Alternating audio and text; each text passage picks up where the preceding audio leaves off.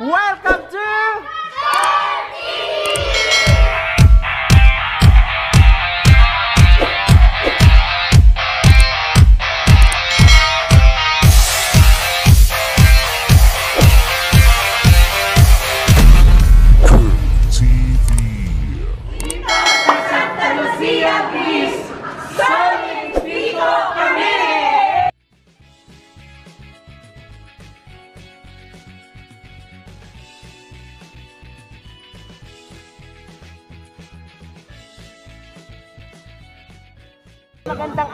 po. Ano pong pangalan nila? Ronnie Ramirez po. Ronnie Ramirez, tama? Yes, sir. Ah, ngayon po, ang tanong ko sa iyo, sinong mayor mo? Number one, letter B is Vico Soto. Ay, bakit naman si Vico Soto ang ba't naman si Vico Soto ang mayor mo, tay? Ah, kasi unang-una, ang mga plataforma niya, ayaw niya sa korupsyon. Mm. Ang gusto natin para maging magandang pasigay niya. Ah, okay. Nung panahon ng pandemya, ano mga programa ang nakita mong nagawa niya? Ah, ma- marami siyang nagawa rito. Katulad po tayo nung ano. Unang-una, pumunta siya rito kagad ng pandemic para magbigay ng mga konting ayuda. Mm. Inunahan niya ng pasabahit na konting ayuda muna pero ang pinakamaganda sa kanya lahat ng tao nabigyan niya. Wow. Oh. Walang hindi nabigyan. Kahit nga may galit sa kanya, Mm. binigyan niya pa rin. Kaya wala, walang pinipili kahit sino. Mm. Kung makakausap mo ngayon, kaharap mo ngayon si Mayor Vico, anong gusto mong sabihin sa kanya? Ah, pagpatuloy niya yung ginagawa niya maganda, uh, maayos na ng Pasigueño, at isa lang mayroon ng Pasig, Mr. Vico Soto. Ako po si Ronnie Ramirez ng Santa Lucia Beach. Solid Vico po kami. Ah, magandang araw, ma'am. Ah, Ano pong pangalan nila? Patricia Moreno po. Patricia Moreno. Ngayon po, ang tanong ko sa iyo ay, sinong mayor mo? Si Iyo or si Vico? Siyempre po, si Mayor Vico Soto. Eh, bakit si Vico Soto ang mayor mo? Si Vico Soto ang mayor ko kasi nakita ko po yung pagbabago. Ah, dito sa Pasig simula nung pinanganak ako. So, 27 years, um, dun po tayo sa dati po namumuno. No? At nakita ko po yung pagbabago ng pamamahala dito sa Pasig. Very hands-on po niya. Pinupuntahan niya po bawat barangay. Nakipag-usap po siya sa mga tao. Pinapaalam niya po yung mga proyekto na kanyang ginagawa. Kaya alam po ng tao ang ginagawa niya at uh, syempre po, ang gusto din po ng tao na approachable po ang mayor. At yung daddy ko po, uh, makita ko po kung gaano po ka-accommodating po ang mayor. Um, Nag-request po ang aking daddy ng meeting and then pinaunlakan niya po. No? So ganun po, kabait at approachable ang ating mayor. At hindi lang po yun, magaling din po siya at ang values niya po ay um, sobrang um, okay po. Nakilangan po sa isang mabuting um, uh, mabuting leader po. Yun po. Kaya ah, wala din po siyang bahid ng korupsyon, wala po siyang interes sa kapangyarihan, sa posisyon. Gusto niya po talagang maglingkod at baguhin yung mismong ah, sistema dito sa Pasig. At ah, napaka-proud ko po Pasigueño, pati sa mga kaibigan ko, na nakikita po nila yung pagbabago dito sa Pasig. Ah, kaya gustong gusto ko po na si Mayor Vico at ang team ng Pasig po ang manalo po sa eleksyon na ito. At um, actually po lahat po ng mga ibang LGUs na yung mga kaibigan ko po from other cities na inggit po dahil napakaganda po ng pamamalakad ng aming mayor at si Congressman Romulo din po na napakagaling din ng Ma'am, ah, sa first ah, term ni Mayor Vico, anong ano yung changes na nakita mo sa kanya? Changes po na nakita, marami po. Una po, wala na po yung mga pangalan. Yeah. No, ito yung pinakauna ko pong nakita. So, Pangalan saan? Pangalan If you po don't mind. projects po. Yes, Kasi okay. po, ah, napansin ko po, dati po, lahat meron sa upuan, meron sa mga poste, sa lahat po, sa bawat ah, lingon ko po, meron po nakalagay. Pero di na naman po masisisi kasi yun po yung nakalakihan. At pwede naman po yung baguhin at yun po ang kanyang ginagawang pagbabago as a new breed po siya of leader. no? Mm-mm. So, um, pangalawa po is ah, nakita po natin yung pamaskong handog. Yes. No, um, yun po yung pinakalagi po ginagawang example pero hindi po kasi yung naramdaman namin lahat. Na dati po parang hindi po kami nakatanggap talaga no or kung nakatanggap na siguro paminsan-minsan lang sa 27 years na nandito. Pero nung simula po na siya naging mayor parang every uh, year po meron po kami pamaskong handog tapos meron din po mga ayuda. Hindi na namin expect kasi malaki po ang Pasig marami po kailangan bigyan pero nabigyan naman po lahat. Kaya nagpapasalamat po kami. Kung sa maraming ah, mga pagbabago po na ginawa ni Mayor. At syempre po, ah, yung transparency niya po, sinasabi niyo po yung budget, um, alam kaya parang niyo po sa tao na ito ang um, budget natin para dito, At ito yung ah, nakalaan na project ah, na budget para sa proyekto ito. At uh, naramdaman din, mga scholars din po ng Pasig naramdaman din yung mga pagbabago ito. Na nakita ko po sa mga Facebook posts, sa mga comments, sa mga Twitter, yun po. So, ah, nakita ko po na hindi lang po isang sektor yung na, na touch po ni Mayor Vico at ng kanyang um, pamahalaan, kundi po ah, senior citizens, scholars, at lahat po, bawat mamamayang Pilipino po dito sa Pasig, na sana po ah, sa ating national government maging ganyan din po ang uri ng pamamalakad. Ma'am, kung makakaharap mo personally si Mayor Vico, ano ang gusto mong sabihin sa kanya? Ah, Mayor Vico, ah, maraming maraming salamat po sa pamumuno po ninyo dito sa Pasig. Binigyan niyo po ng bagong pag-asa ang mga tao no, na pwede palang magbago. Kahit 27 years, pwedeng ah, baguhin yung sistema.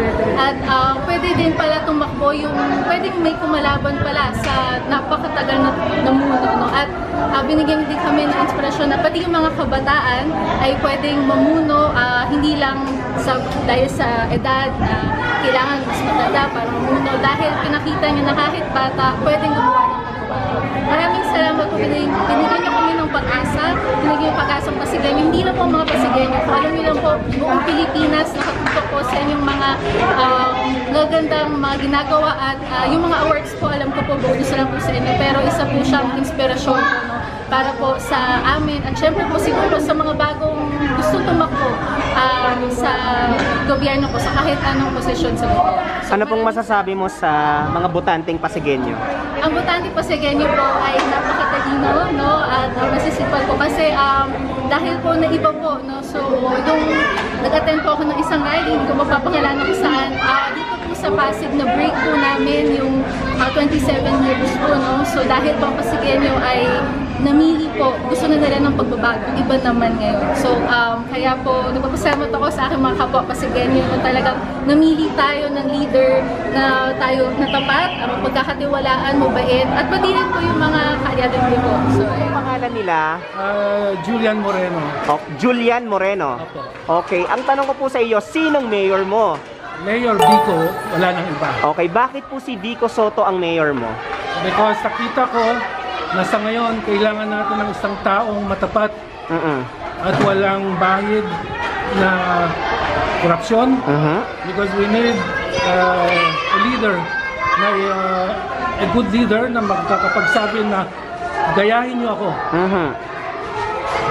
Because not even once na, na, na sangkot siya sa anumang anomalya. Very clean ang ano niya.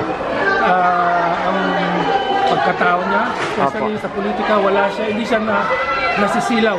Mhm. Whatever politiko ka, maraming nag, ah, ano dyan, maraming ways to kumita. Pero sa kanya, nakikita namin na talagang ang ultimate ano niya lang is to serve people. Okay po. Especially yung nasa laylayan ng ating ah, bayan. Ano-ano po bang proyekto ni Mayor Vico ang nagustuhan mo sa kanyang sa kanyang unang termino? Ah, marami na siya. Ito is also partly ah, with cooperation of ah, Congressman Romulan Mayor na ipatayo tong three-story building. This is worth 37 million. Opo. At marami siyang pagbabago na inano sa Pasig. Hindi ko na maano lahat. But then definitely, ang dami. Even, even ah, yung mga foreign na ano, nagdagulat na meron pala tayong isang matapat at magaling na mayor. Mhm. So, sabi ko nga, eh, sa katagal-tagalan siguro na ito, ito na dininig na yung, yung panalangin ng tao na sana magkaroon ng isang tao na maglilid sa Pasig na isang maayos at ah, matapat Mhm. at walang kinikilingan kundi kung ano ang tama lang. Ayun. Para sa mahirap. Yes. Kita mo naman personal ni, ni Mayor Vico, very simple, very humble. You seldom see this from gatitong era. Ah, marami dyan, hindi pa nga mayor, eh, kung magsalita, kala mo congressman na. Then you see the person. Mhm. Makikita mo kung ano ang he was brought up by by his ah, ano by his parents na napakaganda ang pagpapalaki sa kanya. Opo. Uh, God-fearing and uh, nakita naman natin ang resulta. Uh, ako, ako nagpapatunay na hindi lang ako ang isang nakakapansin ng ganitong pagbabago sa Pasig. Uh, so ay, ako natutuwa naman ako because lahat naman tayo, uh, wala man tayong immunity kundi ang pagbabago at pagganda ng ating uh, community. Hi, magandang araw po. Ano pong pangalan nila? Bing! Ate Bing, ang tanong ko po sa inyo, bakit si Vico Soto ang mayor mo? Matao siya, makajos, magalang. Mm. Higit sa lahat, anak siya ni Cory, religious person. Ayan, so sa tingin mo, anong mga qualities ang nagustuhan mo kay Mayor Vico? Ah, hindi siya corrupt. Mm. Bagong mayor pa lang siya, pero marami siyang, maraming humahanga sa kanya. Mm. Ginagaling siya, kasi hindi siya bastos magsalita, magalang. Opo, ano pong mga proyekto ni Mayor Vico ang nagustuhan mo sa kanyang unang termino? Ay, naku, especially yung pagbaha. Di na kami binaha. Hmm, talaga ba? Oh, dyan sa ano. Sa Ngayong ngayong pandemya, ano yung nagustuhan mo sa kanya? bagay, ano. Mga ano, mga ayuda. Mm. or sa pamasko, wala siyang pinipili, binibigyan kami kasi noon, nung pagtira namin, wala pa kang siyang, wala, hindi kami nakatanggap, pero sa ngayon nakatanggap na kami. Awa Okay po. Dahil sa kanya. Okay po. Yun. Maraming salamat, Nay. Thank you. Edmundo Almeron. Edmu Edmundo? Edmundo. Okay. Tay, ang tanong ko po sa iyo, bakit po kaya si Vico Soto ang mayor mo, Tay? Eh, nararamdaman ko tapat sa kanyang mga salita. Tapos, sinasabayan niya ng gawa. Ah, okay. Ba, ah, dahil ngayong panahon ba ng pandemya, ano yung mga proyektong nakita mong ginawa niya? Ah, mayat maya, nagbibigay siya ng ayuda. Mm, ikaw ba ay naka-receive ng ayuda Yes. nung panahon na yun? Mga dalawa, tatlong beses. Ay, wow, napakagaling naman. Ano pong masasabi mo kay Mayor Vico kung makakaharap mo siya ngayon? Eh, nakaharap ko na. Okay pa. Pogi. Ah, thank you, ta. Ako po si Karen. Karin. Okay, ngayon ang tanong ko po sa iyo, bakit si Vico Soto ang mayor mo? Si Vico, si, si Vico Soto po kasi yung ah, nakitaan po namin ang potential dito sa sa Pasig. Na napakagaling po niyang mayor. Ano pong bang mga nagawa ni Mayor Vico ang Ah, nagustuhan marami mo? po si mayor nagawa na katulad po nung hindi namin naranasan na yung katulad nung nagbibigay siya sa amin ng ayuda ng nung lockdown. Marami po siyang bagay na naibigay po sa amin at hindi hindi niya po kami pinabayaan. Ah, okay. Thank you, ma'am.